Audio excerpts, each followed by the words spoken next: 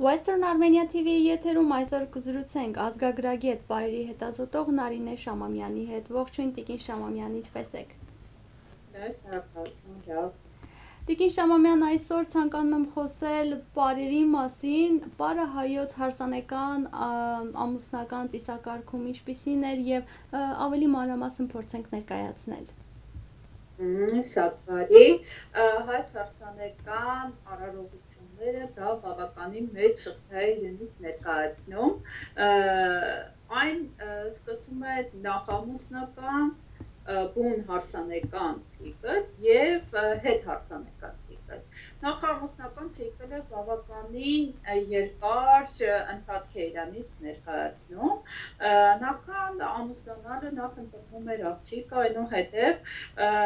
ընտրված աղջկան պետք է ստուգեին նախ առաջինը, քանի որ պետք է տեսնեին ինչպես է նրա կառուցվածքը, բույը, բուսաթը, մի խոսքով ամեն մանրամասներով պետք է այդ ամեն ինչը իրականացնել տվյալ արարողությունը տեղի էր ունենում հանրային բաղնիքով կամ որևէ եթե բաղնիկ չէր լինում տվյալ համայնքում որևէ մեկի տանը փակ գաղտնի արարողությամբ այսպես յուրաքանչյուր համայնք դե բնականաբար ունենում էր իրենց տարեց կանանց խումբը ովքեր զբաղվում են տվյալ գործով տվյալ արարողությանը մասնակցում են նախ աղջկա կողմից մայրը պետք իրավունք չուներ մասնակցելու տվյալ արարողությանը, բարեկամներից որևէ մեկը եւ համայնքի կանայք արարողությանը մի գուցե բոլորին տեղյակ լինի տեղեր ունենում չեմ ու չեմ կրնա խաղամ այս հայտնի երգը կատարել է Արեգ Բաղդասարյանը, ինչպես նաև կատարել է Տաթևիկ Հովանիսյանը ջազային երանգավորմամբ, ինչպես նաև բավականին հետաքրքիր է, որ այս արարողությունը արտացոլվել է Համոբեկ Նազարյանի Պեպո ֆիլմում, երբ որ հա եկել են տանում են բաղնիկ ստուգելու, փորձում են մազեր, այնուհետև մի խոսքով Այս արարողությունը բնականաբար ոչ միայն հայերին, այլ նաև արևելյան մի շարք ժողովուրդներին բնորոշ է եղել։ Այդ ընթացքում աղջկան տեղի էր ունենում հարց ու պատասխանով բարերք, այսինքն այդ ծիսական գործընթացը բաղնիքում, համայնքի բաղնիքում, ինչպես գիտենք, Գյումրին ունեցել է նման մեծ գեղեցիկ շքեղ բաղնիկ, ինչպես նաև բազմաթիվ արխիվային նյութերից եւ ածկագրական տարբեր աղբյուրներից տեղեկանում են, որ նման բաղնիկներ կան նաեւ Պոնտոսում եւ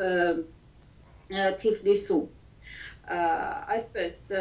արարողությանը կանայք երկելով դիմում էին աղջկան, աղջիկը պետք է պատասխաներ երկով։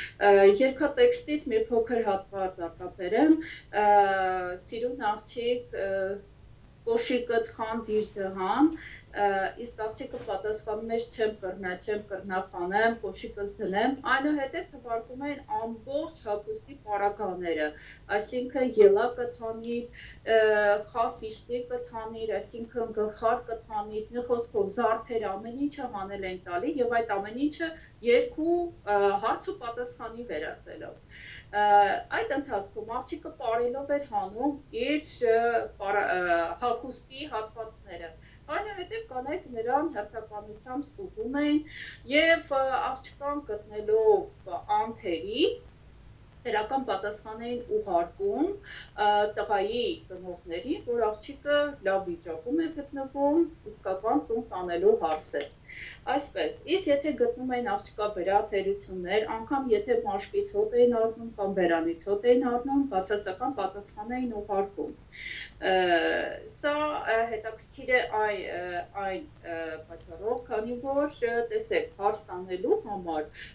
ֆիզիոլոգիական այդ ցուցիչները շատ կարևոր են։ Այսինքն աղջիկը պետք է լիապես առողջ լիներ, որպիսի հետագա սերունդների համար առողջ լիներ։ Այսպես այս արարողությունից հետո նոր միայն կարելի էր նշան դնել աղջկան եւ այնուհետեւ հաջորդել հաջորդ հարսանեկան արարողությունների ցիկլը Նաև Հայաստանում եղել է շատ բնակավայրեր, որտեղ չարփափան արարողություններ է իրականացվել նախքան տուն հարսանեկան ցիկլը իրականացվել։ Այսպես Շիրակի որոշ բնակավայրերում ընդունված է եղել կոտորնակ պարը, կոտորնակ պարով, որը հիմնականում ուժգին հարվածներից է բաղկացած եղել եւ ամուր պինդ ձեռքերի բնելաձևով, այսպես փորձել են համայնքի մարդիկ բռնդել, հեռացնել բոլոր այն չար բացասական ուժերին, որոնք կարող են խոչընդոտ հանդիսանալ նորապսակների ճանապարհին։ Սա իհարկե միայն բնորոշ է եղել Շիրակի որոշ բնակավայրերի։ Սա ընդունված չի եղել Հայաստանի մյուս շրջաններին եւ չեն կարող սա վերագրել ամբողջ Հայաստանին։ Իդեպ հարսանեկան արարողության ընթացքում հանդիպում են այնպիսի արարողություններ, որտեղ մի բնակավայրում ընդունված է, իսկ մեկ այլ բնակավայրում ընդունված չի եղել։ Տիկին Շամամյան, նախ ամուսնական այս ծեսերը օրինակ Սասունում, Մուշում, Ալաշկերտում նույնպես եղել են թե միայն մի քանի բնակավայրերում, որ, որոնք որ նշեցիք արդեն։ Բնականաբար եղել է որովհետև տեսեք աղջիկ ստուգելը, քանի որ պատկերացեք անցած տարի դարաշրջանի տարազը, ինչ է ակնհայտ, ամբողջությամբ փակված է եղել։ Երկար զգեստ, փակ ծածկված գլուխ, ինչպես հնարավոր կլիներ նկատել մարմնի թերությունները եթե ոչ ստուգելով եւ դրական նշան տալու։ Իհարկե այս ավանդույթը նաեւ գործել է 20-րդ դարի մինչեւ 70-ական, 80-ական թվականները, բայց առանց երկի եւ բարի։ Միայն տարել է եւ աղջկասուկել է եւ հավանություն է տվել է, որ նա անթերի է եւ հնարավոր է ամուսնացնել նման դեպքեր իհարկե եղել են, որովհետև դաշտային հետազոտության ընթացքում այս հարցերը նույնպես դուրս չեն մնացել մեր հարցադրումների ցուցակից հարցրել ենք իհարկե եւ եղել են այնպիսի դեպքեր երբ ասել են որ հա գնացինք աղջիկ ուզելու, տարանք ստուգելու, տեսանք, որ ամբողջությամբ մազոտ է եւ մենք բացասական պատասխան հպարտեցինք, հարց չբերեցինք։ Այսպիսի դեպքեր նույնպես եղել են։ Իսկ այս դեպքում Տիկին Շամամյան տարիքային սահմանափակում եղել է։ Ճիշտ ասած, տեսեք, տարիքային սահմանափակումը, քանի որ կոնկրետ կալենդարային ցուցիչով այսպես չեն առաջնորդվել, աղջիկը երբ է ծնվել, ինչ որ կոնկրետ ուշադրություն չի դարձվել, այսինքն տարիքային խմբով է ենթադրենք 10 տարվա կտրվածքով տարիքային խմբով է այդ ամեն ինչը հաշվի առնվել ոչ թե հատուկ նշված կոնկրետ օրով, ժամով եւ այլն, պասպորտով քանի որ տեղյակ ենք այդ ամեն ինչը ֆիքսվում էր միայն եկեղեցու կամ համայնքի ղեկավարի մոտ Իսկ ինչպես ինչպես է եղել ամուսնական ծեսերը հայ, հայոց լեռնաշխարում պարտադիր էր որ տղան աղջկանից մեծ լիներ կամ ինչ որ տարիքային տարբերություն պետք է լիներ թե դրան ընդհանրապես ուշադրություն չեն դարձրել։ Բնականաբար, բնականաբար տղամարդը պետք է աղջկանից մեծ լիներ, բայց պատահում էր այնպես եւ չի բացառվում, որ եղել են նման դեպքեր, երբ որ աղջիկը ենթադրենք մի քանի տարի մեծ է եղել եւ այսինքն համայնքը ընդունել է որպես հասակակիցների խումբ այդպես կոնկրետ չի նշվել, որ մի տարի կամ մի ամիս մեծ կամ փոքր լինի, բայց հիմնականում ուշադրությունը դարձվել է, որպեսզի տղա մեծ լինի աղջկանից։ Շատ լավ, այս դեպքում արդեն անցում կատարենք հենց բուն ամուսնական ծեսերին։ Բուն ամուսնական արարողությունը բնականաբար 7 օր, 7 գիշեր, հա, այսպես նշվող այդ շղթան է ներկայացնում Իրանից բնականաբար առաջին այդ օրը սկսվում էր նախ եւ առաջ պետք է նշեմ որ հարսանեկան արարողությունները սկսում էին խոր աշնանը այսինքն հոկտեմբերի կեսից մինչև ձմեռ այդ հատվածում պետք է լիներ եւ այստեղ հաշվի էին առնում, որ նորալուսնի ժամանակ կատարվի հարսանեկան արարողությունը, որովհետեւ դեպի մահիկ գնացող լիալուսնից դեպի մահիկ գնացող ընթացքում արարողություններ չեն իրականացրել, առաջնորդվել են այդ Իսկ ինչու այդ ընթացքում ամուսնություններ չեն իրականացրել։ Կար որոշակի Տեսեք, սա տոմարով, այսինքն տոմարային սկզբունքը շատ մեծ է եղել։ Եթե կատարվում է որևէ լուրջ արարողություն, մեծ գործողություն, դա պետք է սկսեին նորանոսնի ժամանակ։ Նույնը աշնանացանը կլիներ, թե գարնանացանը կլիներ, կարևոր արարողություն իրականացնելը աշխատում էին նորանոսնի ժամանակ այդ ամեն ինչը անեն, չթողնել լիալուսնից հետո։ Իհարկե ես տոմարար հետ չեմ, չեմ կարող շատ մանետ հարցերի պատասխանել։ Այդ հարցը թողնում ենք Լիլիթ Սիմոնյանին, ով առավել գորությամբ է դերապետում առարկային։ Ուրեմն անդրադառնամ թեմային, որ հարսանեկան արարողությունը սկսում են ալերմաղեքի արարողությամբ։ Սա միայն կանանց է բնորոշ այս արարողությունը։ Կանայք հավաքվելով տղայի տանը Գերդաստանի մեծ կինը ալյուրը մաղում էր եւ ալյուր մաղելու ժամանակ թոնգատանը տեղեր ունենում պարեր, պարտադիր։ Եվ այդ պարերը պետք է ուղեկցվեին 7 պտույտ կամ ամենակիչը գոնե 3 պտույտ շրջանում այսպես յուրաքանչյուր տարածաշրջանում ապարել են այն ինչը բնորոշ է եղել տվյալ շրջանին օրինակ սասունում ապարել են փափուկի, բարել էր շորոց, բարել են տեղական սասունցիներին բնորոշ վերվերին, բանում բարել են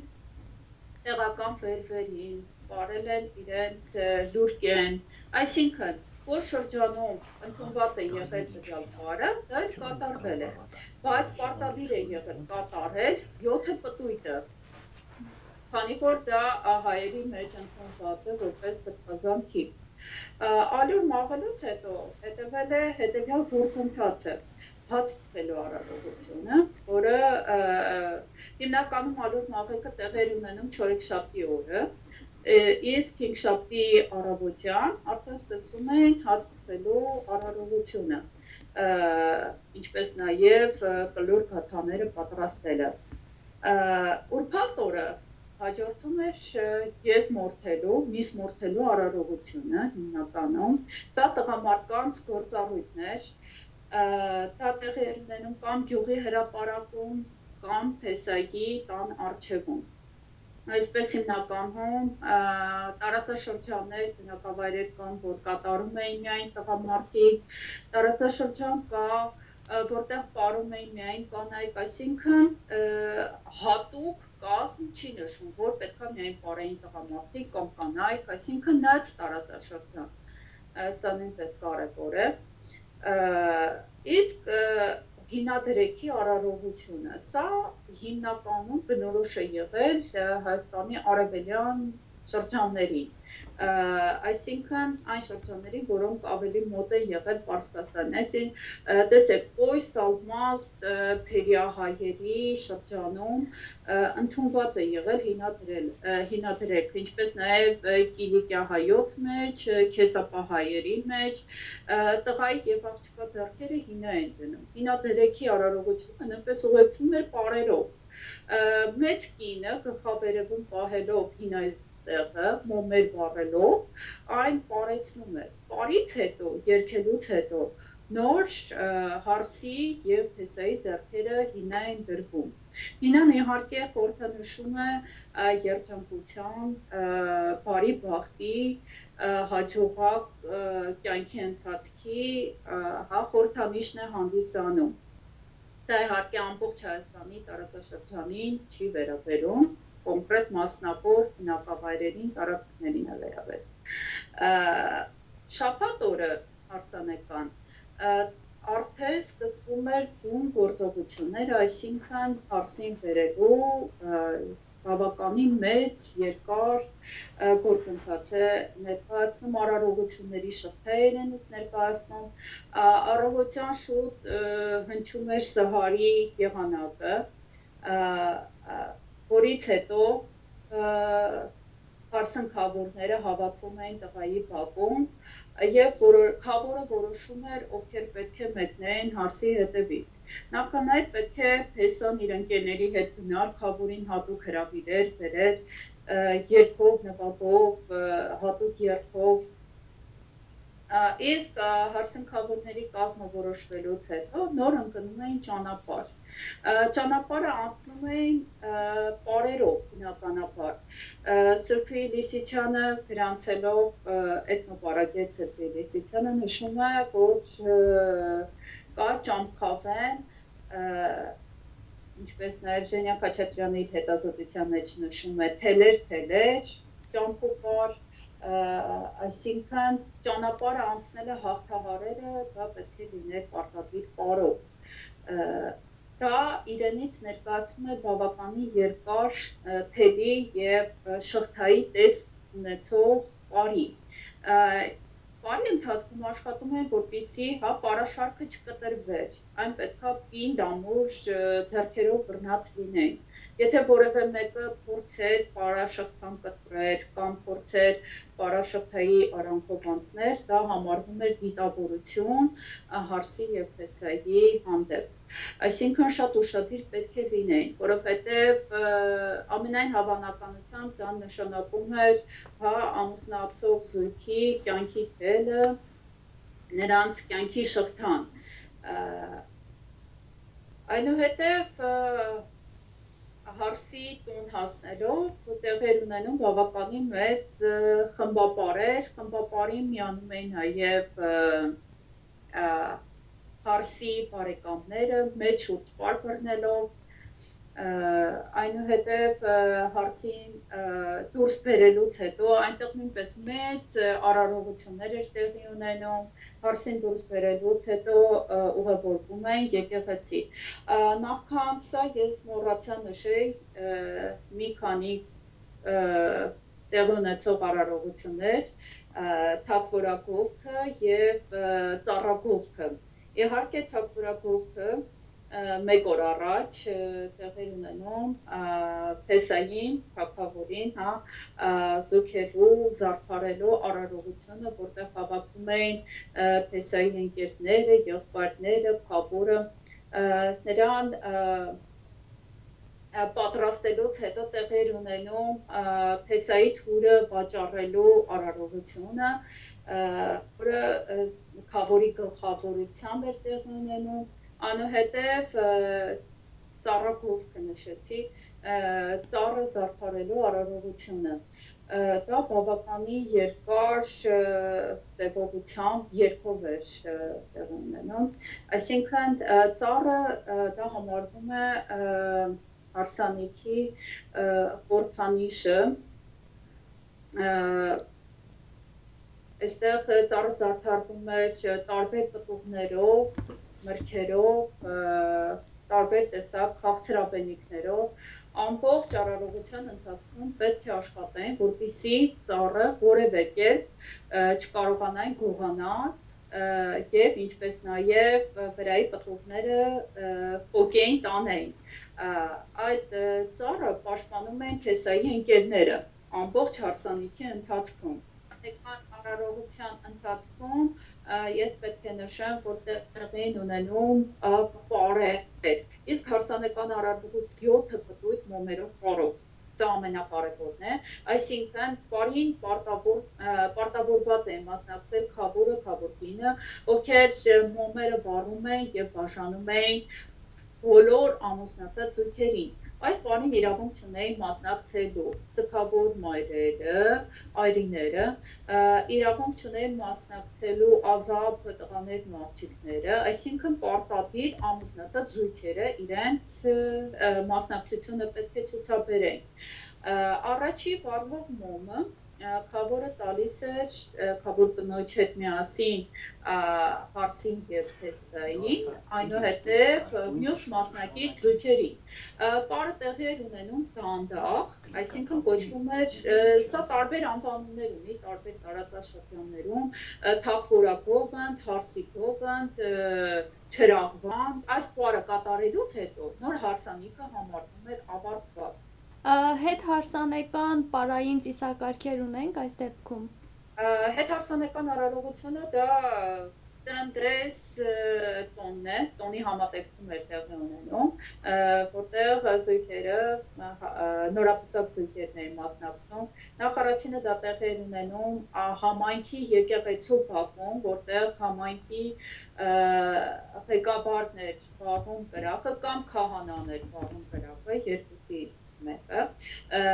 կրակի շուրջ պետք է նույնպես տեղի ունենար 7 պտույտ 7 շրջան բարը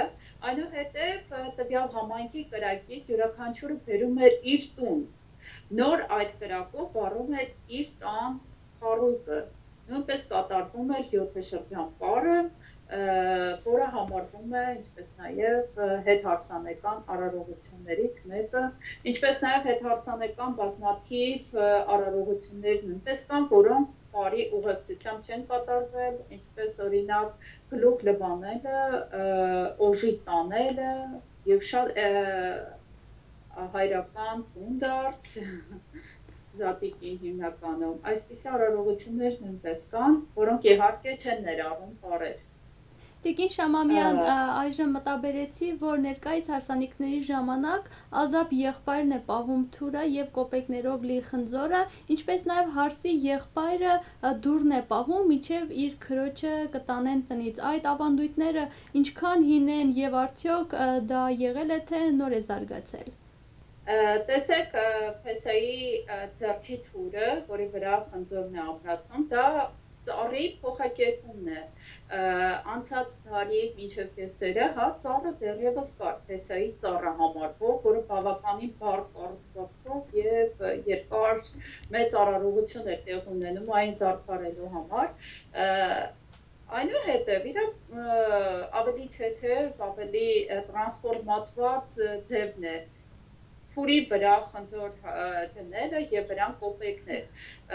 Իսկ ինչ վերաբերում է դուրը տանակով պահել, ինձ թվում է դա նորամուծություն է, որովհետեւ հետազոտելով եւ նայելով ազգագրական աղբյուրները նման բան չի հանդիպել, որ պետք է դուրը պահել տանակով կամ այսպիսի նորամուծություններ է կա կոշիկ փախցնել կամ այնտեղ հարսի քողը պատտել դրանք նույնպես նորամուծություններ են եւ բազմաթիվ են այդպիսի դեպքերը Միս մորթեքի արարողությունը նույնպես այսօր վերափոխվել է եւ ռեստորանում մատուցում են այն արդեն խորովածի տեսքով, բայց ավանդական հարսանեկան համալիրում միսմորթեքը դա տեղի ունեցել հրապարակում եւ ոչ թե խորոված է պատրաստվել, այլ այն յախնի, հա, խաշլամա այսպես ասված, դա է պատրաստվել։ Իսկ խորովածը դա անցած տարի 70-ականներից հետո մուտք գործեց հարսանեկան համալիր, այսինքն փոխակերպված տարբերակն է։ Ձեր խոսքում նշեցիք, որ գյուղի առավել տարեց կանայք ստուգում էին աղջիկներին, իսկ տղաներին ստուգման ինչ որ ծեսեր կային, թե ոչ։ Տեսեք, քանի որ հայտնի մեջ եղել են համայնքային միություններ, այսինքն հասակակիցների միություն, եղել է երիտասարդների միություն,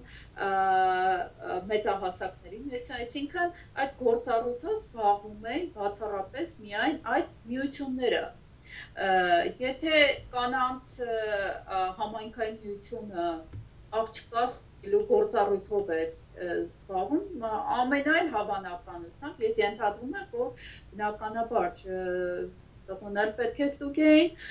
բայց նման նյութեր, նման փաստեր ես չունեմ եւ որևէ մի ազգագրական գրականության կամ արխիվային անտիպ նյութերում ինձ չի հանդիպել, բայց չի բացառվում, որ հետագայում այն կհանդիպի։ Արևելյան Հայաստանի տարբեր հատվածներում եք եղել հետազոտությունների նպատակով, որտեղի պարերն էին հիմնականում գերիշխում այստեղ։ տեսեք հիմնականում Արևմտահայաստանի բարերը ավելի պահպանված են, քան Արևելյան Հայաստանի։ Այստեղ շատ կարևոր է նշեմ, որ Արևելյան Հայաստանում հիմնականում ընդունված է եղել մենապարերը, մենապարերի մշակույթը, մինչդեռ Արևմտյան Հայաստանում մենապարերը այդքան ընդունված չեն եղել։ Այսինքն եղել են մենապարեր, բայց դա այդքան մեծ նշանակություն կամ մեծ դեր չեն տվել միգուցե ես սա ենթադրում եմ արևելյան հայաստանում մենապարերը միգուցե կապված է այն փաստի հետ որ քաղաքային մշակույթը շատ զարգացած է եղել տեսեք Թիֆլիս, Երևան, Շուշի, հա այդ կապը միշտ եղել է այդ բանու կապը, որտեղ չբացառվում, որ քաղաքային պարը իր ազդեցությունը չունենար։ Տեսեք, Արևմտյան Հայաստանից 1915 թվականին, հա, անցած տարի վարդերից հետո, մեծ ցեղասպանությունից հետո տեղահանվելով, մի մասը հաստատվելով Արևելյան Հայաստանում, մի մասը տարբեր երկրներում, այստեղ խնդիր կար մշակույթը պահելու իսկ այստեղ Արևելյան Հայաստանում ապրող գործիչները լծվում են իդեպ այդ թվում նաև Արամ Արիստակեսյանը լծվում են այդ գործին հավաքել ամեն ինչ կապված Արևմտյան Հայաստանի հետ։ Վարդգես Սուրինյանցը սկսում է տարազները նկարել, Արիստակեսյանը սկսում է պարերը սովորել եւ ինչ որ չափով նկարահանել Այսինքն խնդիր կար բարերը պահելու եւ փրկելու։ Ուշադրությունը հիմնականում բևեռված էր արևմտահայկական մշակույթը պահելուն, ինչը արդյունքում է արևելահայկական մշակույթը այդպես մնաց տվերում եւ որևէ մեկի մտքով անգամ չէր կարող ասել, որ տարիներ հետո դոմինանտ կդառնա արևմտահայկական մշակույթը եւ կսկսի աստիճանաբար վերանալ արևելահայկականը ու հետագայում խնդիրներ կառաջանան հետազոտման գործում։ Ձեր կարծիքով այսօր երիտասարդները ձգտում են հին ավանդական ծեսերով ամուսնությունների 1990-ականների վերջին, գիտեք, այս տենդենսը սկսեց։ Երևի 98-99 թվականներից, հա, այս զարգը սկսեց, քանի որ խնդիր կար անդրադարձ դեպի վերադարձ դեպի արմատներին, դեպի ակունքներին, քանի որ այդ թվականներից սկսեցին զարգանալ եւ ավելի շատ ստեղծվել նոր ազգագրական, հա, այսպես ասած, ավանդական երկի բարի խմբերը։ Իսկ 2005-2006 թվականներին նկատում ենք, որ աստիճանաբար վերադառնում են այսինքն ցանկություն կա դեպի վերադարձ հայ ժողովրդական արմատներին։ Իսկ 2010 թվականից սկսած արդեն տեսնում ենք ազգագրական խմբերի բավականին մեծ ընդգրկում լինելը, ինչպես Հայաստանի մայրաքաղաքում, այնպես էլ Հայաստանի մի շարք բնակավայրերում։ Այստեղ երիտասարդների խնդիրն է վերադարձ դեպի հաջորդական տարին երկին ավանդույթներին։ Իսկ սովետական Հայաստանի շրջանում, ինչպես գիտենք, այդ ամեն ինչը համահարթեցվել էր։ Այսինքն տոնական կենցաղում չէին իրականացում ժողովրդական երգերը, պարերը, չկար աստիճանաբար քայլ է արվում դեպի ավանդականին վերադարձ։ Մեր հետագա այլ հաղորդումների ժամանակ վստահ եմ կանրադառնանք նաև պարերի այլ տեսակների, մասնավորապես ռազմապարերին, իսկ այսօրվա հարցազրույցի համար շնորհակալ եմ ձեզ։ Ես եմ շնորհակալ եմ։ Ձեզ հաճելի օր։ Իսկ ես հիշեցնեմ, որ Western Armenia TV-ի եթերում մենք զրուցում էինք ազգագրագետ Նարինե Շամամյանի հետ։ Կհանդիպենք։